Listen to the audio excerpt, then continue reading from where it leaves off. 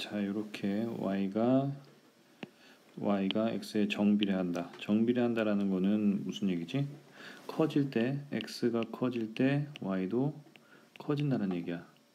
네. 그러니까 결국에는 이런 그래프가 있으면 그래프가 있으면은 뭔가 이렇게 커질 때 x가 이쪽으로 이렇게 점점 갈 때 y도 같이 이렇게 커진다.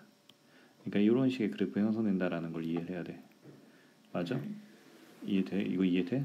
네, 그건 생각. 그지? 그러니까 y는 ax인데 a 값은 양수겠구나. 이런 식으로 유추가 돼야 되는 건 일단 있어. 그지? 자 그리고 y는 이게 점 이거를 지난대. 점을 지난다는 얘기는 즉 어, y는 ax에서 x 값이 뭐일 때 마이너스. 마이너스 2일 때 y 값은 3분의 1이 나오는 a 값을 찾으면 되겠지. 네. 그지? 그러면은 3분의 1은 마이너스 2a네. 그럼 a는 뭐야? 얘가 어떻게 안 됐어? 밑으로 안 됐지. 네. 마이너스 6분의 1이 되는 거야. 맞아?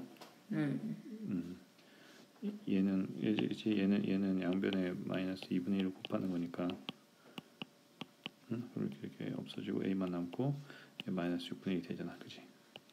그러면 네. 결국 우리는 y는 y는 어, 마이너스 6분의 1 x라는 걸 가지게 되고 이게 fx는 마이너스 6분의 1 x가 되는 거야. 여기서 이 정비례한다라는 게 결국에는 배수만큼 x가 배수로 커지면은 y도 배수로 커져야 돼.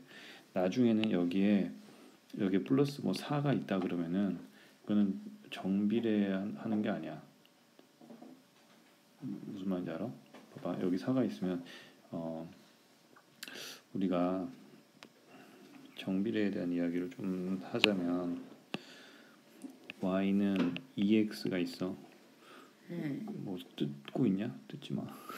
y는 2x가 있으면 x가 1일 때 y는 2지.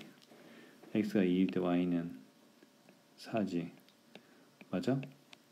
x가 3일 때 y는 6. 6이지. 이거랑 자 y는 2x 플러스 1이 있어. x가 1일 때 y는 뭐야? 3이지. 네. x가 2일 때 y는 뭐야? 4. 5지. 아니, 어, 아니. 그치. 5. 자 x가 3일 때 y는 뭐야? 7. 7이지. 이걸 걸 비교를 해보면은 얘는 두 배로 커졌을 때 두 배로 커졌지. 네. 이게 정비례인 거야. 어. 얘는 얘가 두 배로 커졌는데 얘는 배수로 커진 게 아니야. 그냥 더하기 2가 된 거야. 그지? 네. 얘는 곱하기 2가 됐는데 또 곱하기 3이 됐는데 얘는 다르잖아. 그지? 이- 그래서 얘가 존재하면은 이거는 정비례는 아니란 얘기야. 문제에서는 여기서는 정비례라는 이야기를 해줬기 때문에 이 정비례라는 이야기를 해줬기 때문에 아 어찌됐든 그냥 이런 꼴로 끝나겠구나 뒤에 이런 게 없겠구나라고 또 예측을 할 수 있어야 돼 알겠지? 네. 이렇게 해서 정답은 이렇게 나오는 거야 이걸로